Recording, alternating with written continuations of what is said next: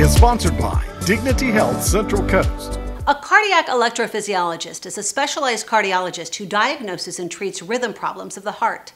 Cardiac electrophysiologist Dr. Ragesh Panikkath from Dignity Health describes the two most common procedures he performs. The two most common procedures I do are Watchman procedure and Watchman procedures is indicated for patients with atrial fibrillation who are unable to take uh, blood thinners for prevention of stroke. Watchman is a small device which occludes their uh, left atrial appendage, which is a small blind pouch in the left atrium where clots form. Both the Watchman procedure and ablations are performed minimally invasively.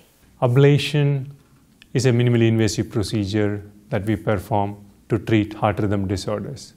Here we take a catheter from the femoral veins into the heart and cauterize the tissues, causing arrhythmias. Their, their heart function gets better, they feel better. If someone has any heart rhythm disorder, especially if they have symptoms from it, like shortness of breath, symptoms of heart failure, they should see a cardiac electrophysiologist.